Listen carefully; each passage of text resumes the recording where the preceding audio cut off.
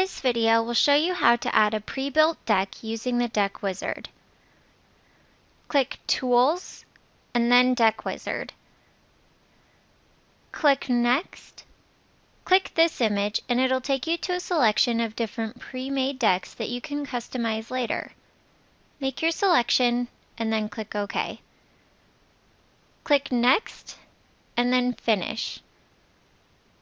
Move your deck roughly into place.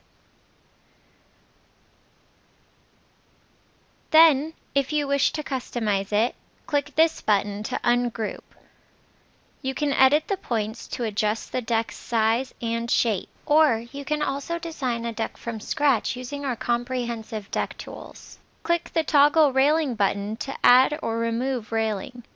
You can also adjust, delete, or move the current stairs, or you can add new ones. Click Building, Deck Stairs. Left click to place the stairs.